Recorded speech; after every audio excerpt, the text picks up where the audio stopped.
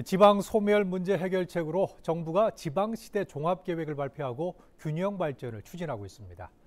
대통령 직속 지방시대위원회가 제주를 찾아 정부의 계획을 설명하고 의견을 수렴했습니다. 문수희 기자의 보도입니다.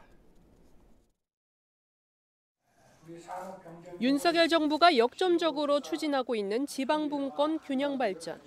수도권 쏠림 현상과 지방 소멸 문제를 해소하고 지방정부의 권한과 책임을 강화하기 위한 겁니다.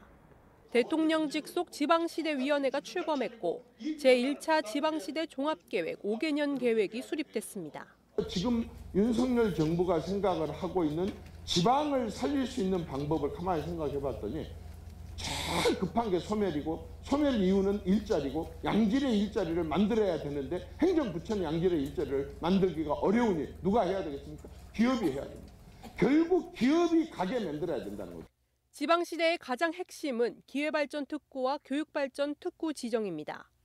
기회발전 특구로 지정되면 지역 특색에 맞는 전략 또는 특화 산업이 추진되고 정부는 기업 활동에 있어 세제 혜택과 규제 완화 등 각종 인센티브를 제공할 방침입니다.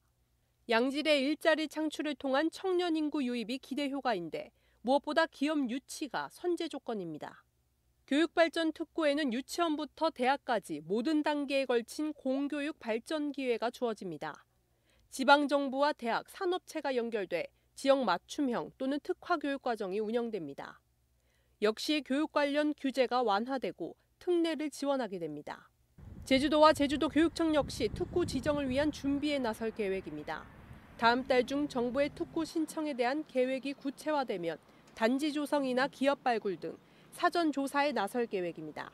특히 기업 유치에 있어 하원 테크노파크의 우주센터 건립을 추진 중인 한화 기업과 논의가 진행되는 것으로 알려졌습니다.